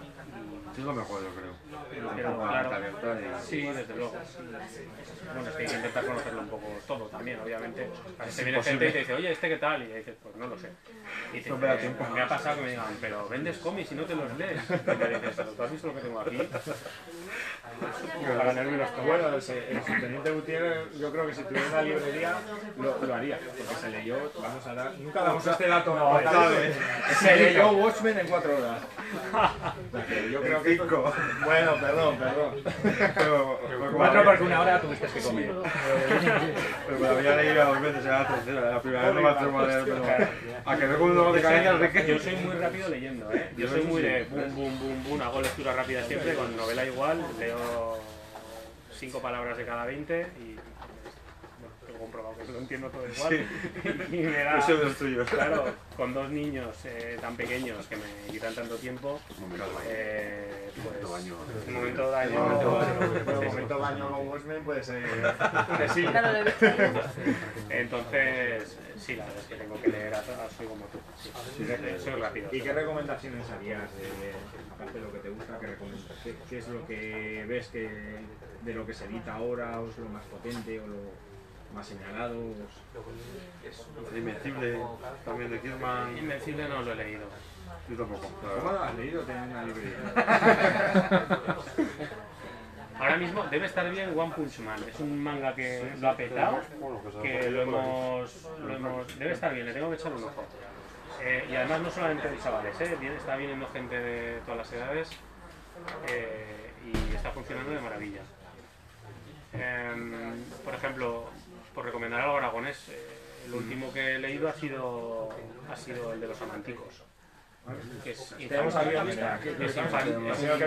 es un cómic infantil, pero que, Es muy recomendable. que yo a mis 38 años me lo he pasado en grande leyendo. Yo también, lo suscribo. Me alegro Y- mucho. Y vamos, mm, recomendadísimo para todas las edades. ¿eh? Os cuenta un poco la historia de, de los amantes de Teruel cuando eran niños. Eh, pues que Isabel quiere jugar con los niños y los niños no quieren y le dicen, pues para, si quieres jugar con nosotros tienes que conseguir un huevo de dragón. Y cuentamos toda la aventura que tiene ella cuando va a intentar conseguir ese huevo de dragón. Es un muy chulo, muy chulo. Son chistes también para no solo para críos, los cogerán los más mayores. o no. A ver si quieres también un poco de vuestra incursión en, el- en la edición. Sí, hicimos una pequeña incursión. Queríamos conocer un poco cómo era el mundo. Un poco. No había grandes expectativas. eh, más que ver cómo era el mundillo de la edición. Y enseguida descubrimos que es muy complicado. Así que nos quedamos en un par de títulos que fueron la, el, el recopilatorio de Supermaño. ¿Para qué tanto? Hablamos, ¿Pa' qué tanto? ah, ¿pa' qué tanto? Hablamos Sí. con Alberto Calvo y le dijimos, Alberto, consíguenos todo lo que puedas encontrar por mesa. Y nos quedó un libro bastante bajo, incluye Guillermo, incluye los, la colección de cromos a color que sacó en su momento. Y bueno, la verdad es que se ha vendido muy bien, la verdad es que tiramos un montón y tenemos muchos todavía. Pero poco a poco van, nunca se ha dejado de vender, ¿eh? No, nunca se No, ha a mí me gusta mucho esta edición. Yo estuve además el día que se presentó el Ujú. cómic aquí en con Alberto. Y después de Superman sacamos un cómic que se titula Reacción, de Jordi Pastor, que me llegó a través de un, amigo común con Jordi, que es Miguel Ángel Ibáñez, alias Nico, que es un blogger vive en Tokio. Y, ha trabajado, ha, sido traductor para Conan Mon, por ejemplo. y viene un poco de enseñanza, de musicales que hace y tal. Y me mandó cuatro páginas, las cuatro primeras, y me gustaron un montón. Entonces, bueno, pues decidí publicarlo y está puesta a salir un poco. Pero bueno, es algo... Hay que apostar, ¿no? Si no Claro, no ganas. es aprendizaje y realmente eh, la experiencia la valoro muy positiva. Muy positiva, me gustó mucho el tema de editar, pero ahora mismo en este momento de mi vida no volvería a hacerlo. Quizá más adelante, quizá más adelante, pero ahora mismo no, no me metería, hay que ser valiente. Eso es muy valiente. Sí, desde luego. En estos tipos lo que dice él, dice, no, no te puedes meter en muchos jaleos porque, vamos, Sí. para esto sí no. ¿Qué decimos por aquí en Zaragoza? Eh, también el auge de Star Wars, bueno, que ya muchos años, pero Sí. esta última temporada, bueno, esta la última película, está esa todo el ver que se estrope, un montón de cosas de Star se Wars. vende muchísimo, los cómics están vendiendo muy bien, pienso que por el formato de grapa.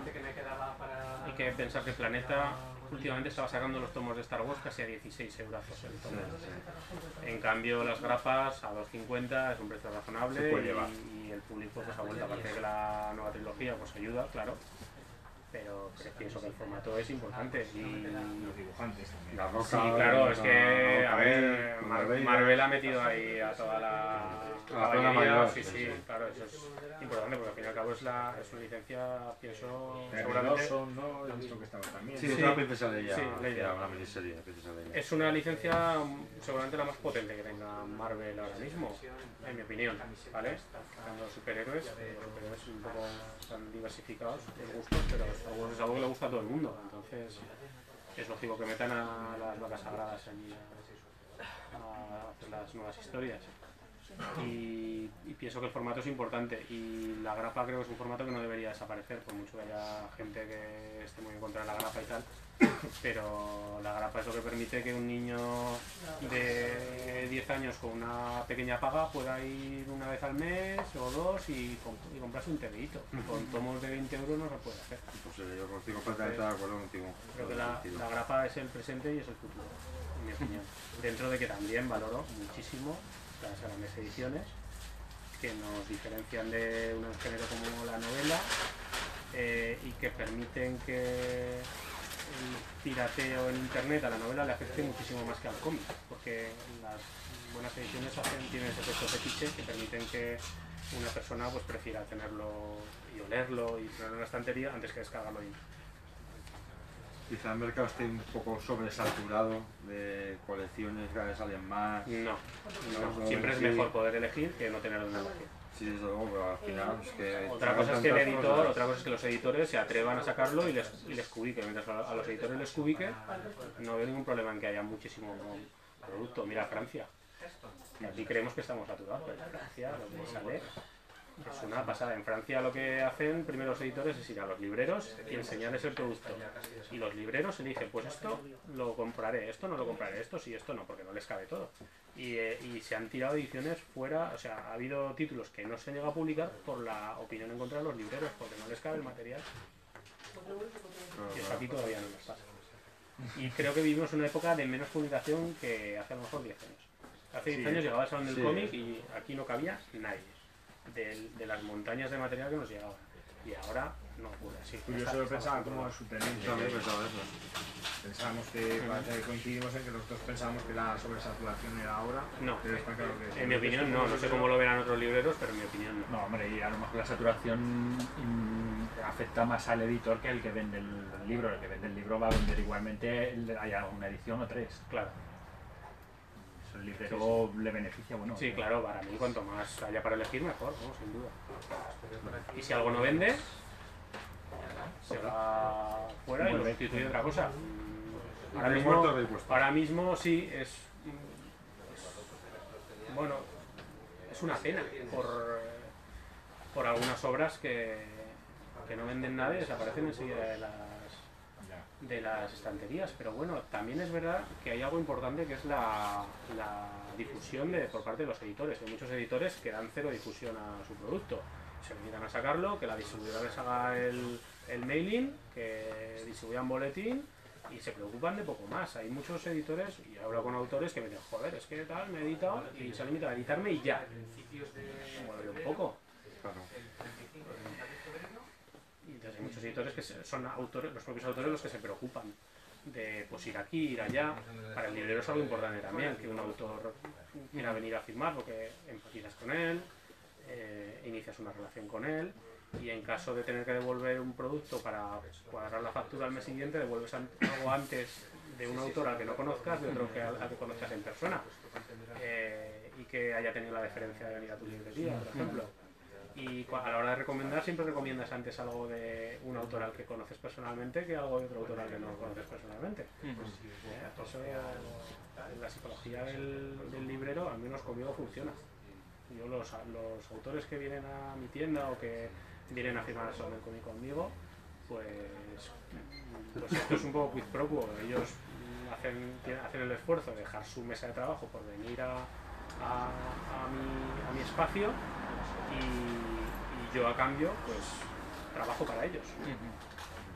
Además ahora que sale la colación el sound del cómic aquí en Zaragoza, cada vez está cada vez más en auge, ¿no? Cada vez sí, a ver, gente a ver qué pasa porque ya no cabemos, entonces se están buscando fórmulas no sé si quizás una carpa a lo mejor en, la plaza exterior de la, sala multiusos.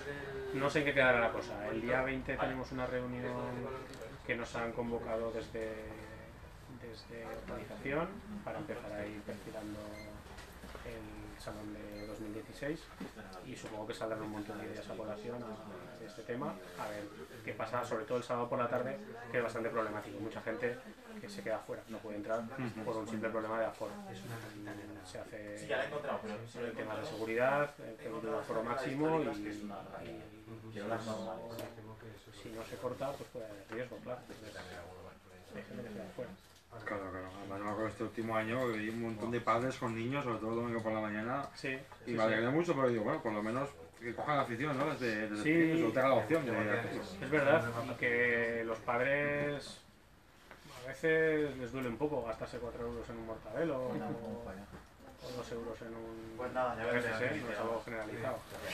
Yo sí que lo he visto en ferias, sobre todo. El padre que viene con el niño a la tienda, no. Tiene, tiene claro que viene a comprar el niño. Pero en ferias sí que lo he visto y dices, joder, luego a lo mejor te vas a echar el vermú y no te importa gastarte 15 euros en el vermú. Y, y, sí, es importante, porque los niños ven, hacen lo que ven en casa y si los padres los llevan a la tienda de cómics o a las librerías generales y les ven y los niños ven a los padres leer novela y ven a los padres leer cómic, pues los niños pues, lo hacen también,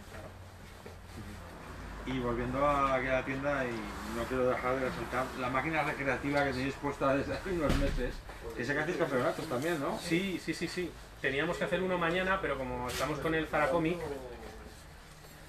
como estamos con el Zara Comic, pues, y mañana tenemos varias actividades, pues, bueno, seguramente lo pasaremos a la semana que viene. Hacemos torneos, sí. Eh, nuestra amada Timanfaya eh, es el modelo. Es una máquina restaurada,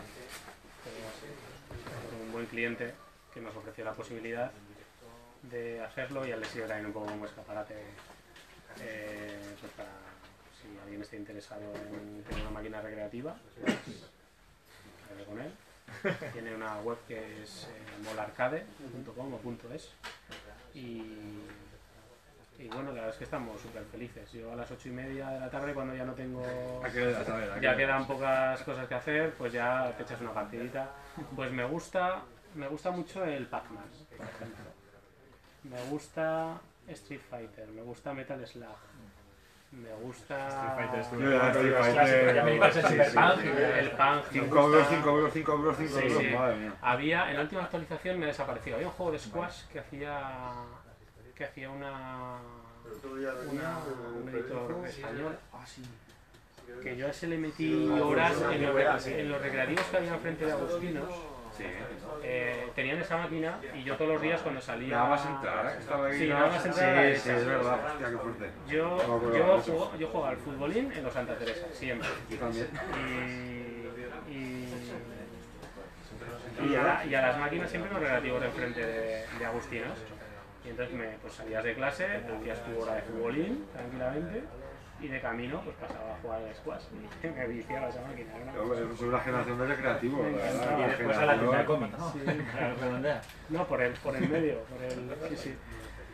Y bueno, pues la verdad es que nos encanta. Entonces es una forma también de premiar a la clientela. Obviamente a nuestra clientela le encantan los videojuegos arcade y ya que vienen a comprarse un TVito, pues es una casualidad. Es un plus interesante. Sí, y además que también hacéis sorteos a veces. Sí, hacemos sorteos, sí, hacemos, hacemos sacamos eh, merchandising para regalar, tipo de nevera, llaveros, estas cosas. Pues, en muchas semanas regalamos con tus compras, ¿no? Y sorteamos productos. Eso es un aliciente también para. Claro, es una manera de atraer al público, claro, porque hay mucha competencia y entonces hay que animar a la gente a que en vez de ir a otras tiendas, pues que venga a la nuestra. Señor Ross, ¿algo tiene por ahí algo más que preguntar? ¿Algo que nos quieras contar tú? Enrique más. Oscar. Nada, Una charla muy. Sí, desde luego, desde luego. Bueno, me ha puesto en este brete y Sí, ahora mismo me he preguntado cuando tenía que preguntar. Ojo, en directo Juan Ross se queda sin palabras. Os, os pregunto, os pregunto yo, ¿vais a comentar algo sobre los diletantes? Bueno, Ya pues sí, sí, sí, sí, hombre. pensado, sí. ¿Tenéis pensado hablar? Sí, bueno, a ver, eh, Todo vuestro. en el, po- a ver, en el podcast más de una vez hablamos, entonces ahora simplemente vamos a hacer un inciso y, de- y decir que siendo que es la semana de- del cómic aragonés, pues por supuesto vamos a recomendar nuestros diletantes omnipresentes en el programa y, y nuestros dos números que tenemos, el 2, el 3 y los dos álbumes que tenemos, el 501 del señor Oscar Sanz, que lo tengo aquí a mi vera izquierda. Se me ha visto poco por el telescopio. Pero bueno, aquí está. Hola. A estas horas He sido yo el no cámara. sé, no sé si seguirá grabando a estas horas, porque lleva tanto rato, igual ha fundido, ha fundido el disco duro del móvil. Bueno, yo era el, el, He borrado- el operador de cámara cuando Ezquerra. Yo creo que, que ha tenido una tendinitis.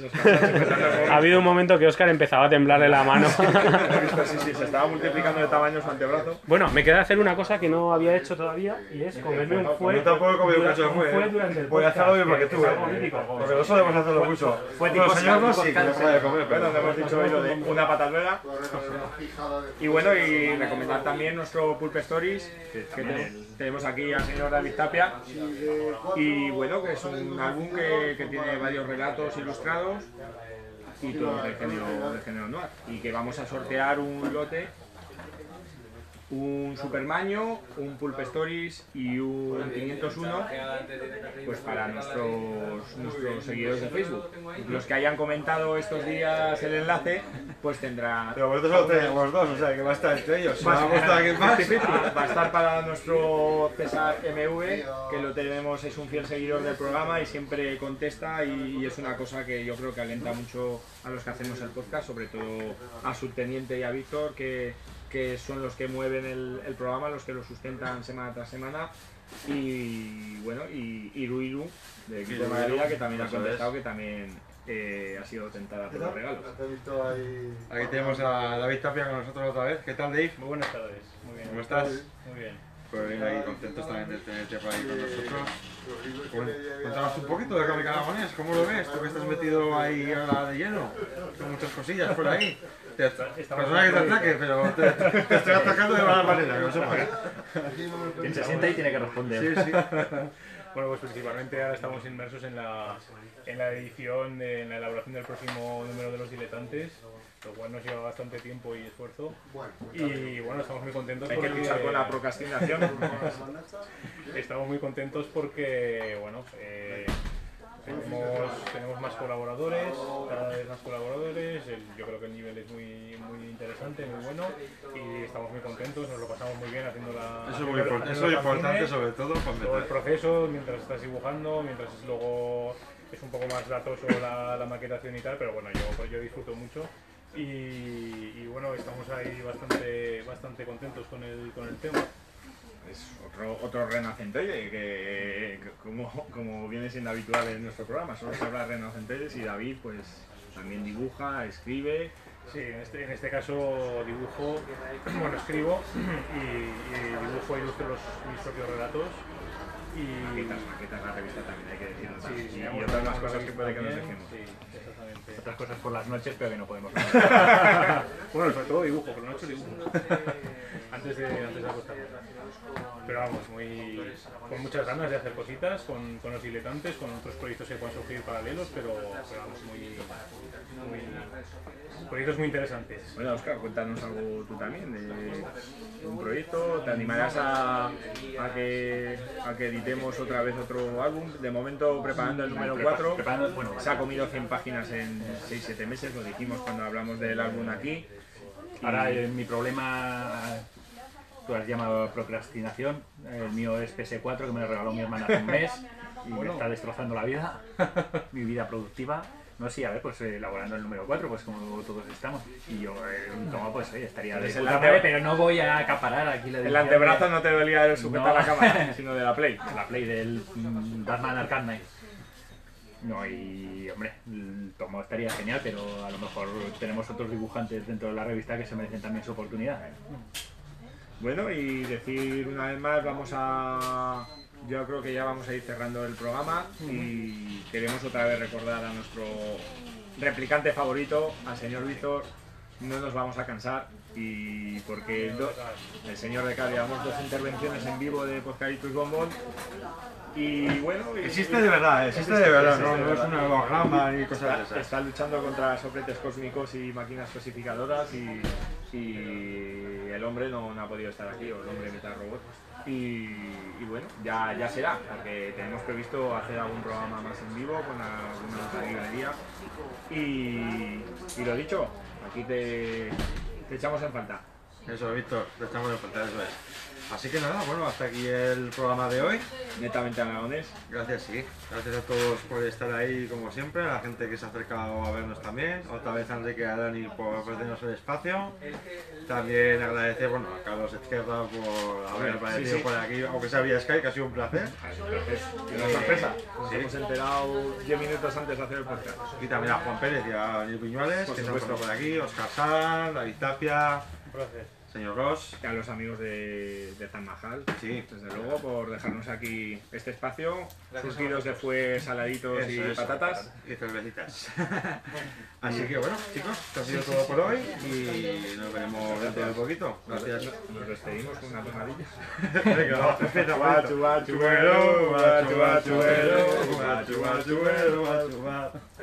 Bueno, lo hemos hecho en plan de duda. Seguiremos ensayando. Adiós. ¡Hasta luego!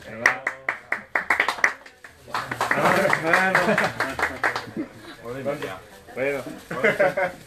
Habéis, cagado. Yo quería haber hecho otra vuelta. ¿Qué tal? ¿Qué tal, Juan? ¿Cómo va? ¿Qué tal? Muy bien. Ahora. Qué casualidad, macho, he pasado por aquí. Tenía así un rato libre antes de ir a. he quedado con estos ahora por la tarde y hostia, me ha pasado muy bien. Pues nada, Sí, corta, corta.